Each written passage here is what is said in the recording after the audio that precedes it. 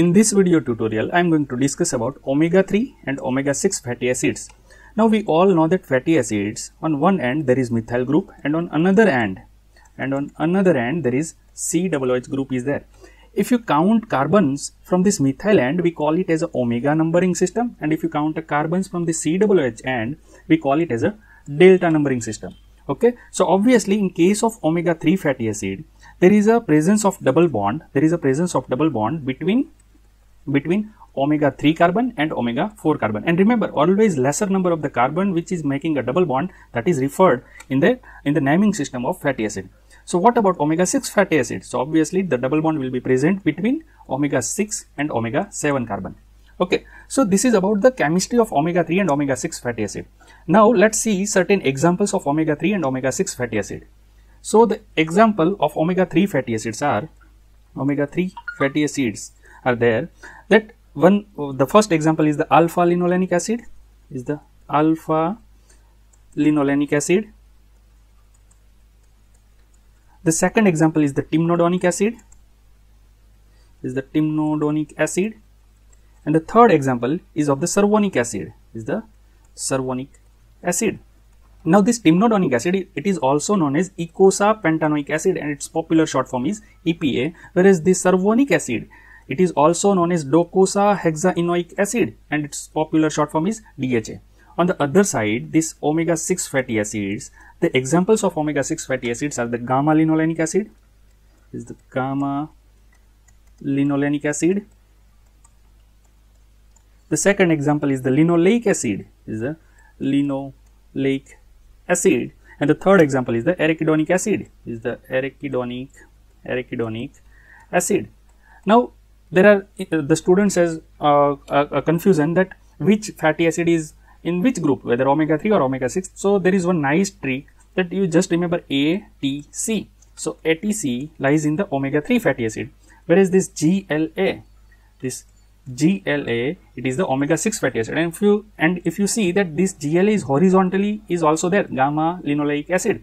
So horizontally as well as vertically this G for gamma linoleic acid L for linoleic acid and A for arachidonic acid. So, by this you can easily remember that which fatty acid is in the which omega group, right.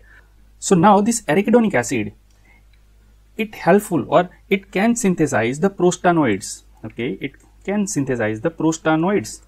Now, generally people or most of the students believe that prostanoids can get synthesized only from the arachidonic acid, but believe me this is not true these prostanoids can be synthesized from arachidonic acid, that is true, but this is not the only compound.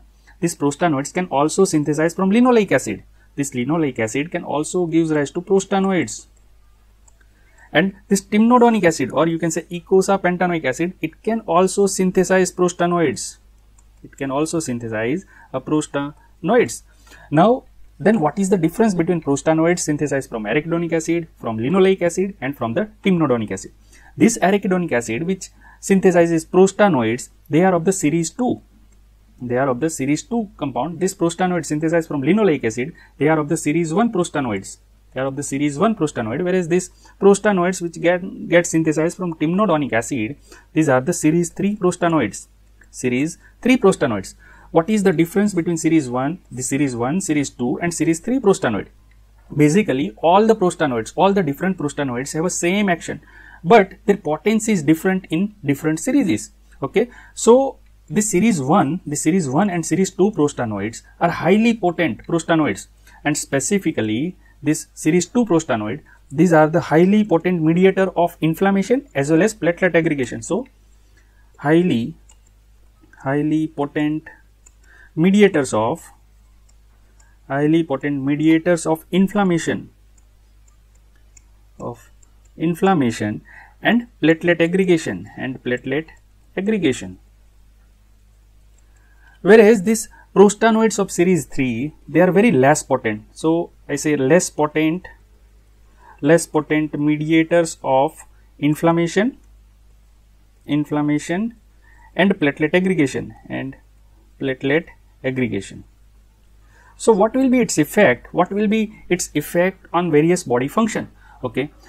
So, in addition to this effect, in addition to this different prostanoid and their potency, this timnodonic acid, it also, this timnodonic acid also inhibits this arachidonic acid, right? This timnodonic acid also inhibits arachidonic acid. How? By inhibiting the release, by inhibiting the release of arachidonic acid from its respective phospholipid. Okay. So, timnodonic acid, particularly of the member of this omega-3 fatty acid, it, it carries out two mechanism and by that both mechanism, the first mechanism is inhibition of arachidonic acid release. So, what will happen? Highly potent these prostanoids are not able to get released and the second effect is that this timnodonic acid itself gives rise to prostanoids of the series 3 which are the less potent. So, ultimately we can say that this omega 3 fatty acid, this omega 3 fatty acid, it brings down or it decreases the inflammation, it decreases the inflammation and it also decreases the platelet aggregation, platelet aggregation. So, there are certain health benefits of decreased inflammation as well as decreased platelet aggregation. So, if platelet, uh, platelet aggregation is inhibited, we can say that there is a decreased risk of, there is a decreased risk of cardiovascular disease, cardiovascular diseases, right? And if there is a decreased inflammation, we can say that there is a decreased risk of, there is a decreased risk of any inflammatory disorder, let's say for rheumatoid arthritis, there is a decreased risk of rheumatoid arthritis and of course of the other inflammatory disorder. In addition to this, there is also a decreased risk of certain cancers, decreased risk of certain cancers. As recently found that certain cancers are because of the more inflammation, because of the high degree of inflammation. So, if inflammation is decreased, the risk of those cancers which are related with the inflammation can be decreased. Okay. The third benefit, the third benefit is there is a decreased risk of there is a decreased risk, risk of ADHD. What is ADHD? ADHD is the attention deficit hyperkinetic disorder, right?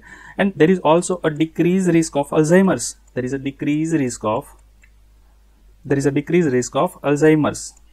Okay, what is the exact mechanism of decreased risk of ADHD and uh, decreased risk of Alzheimer? That is not known, but this is the fact that they can decrease the risk of this disease.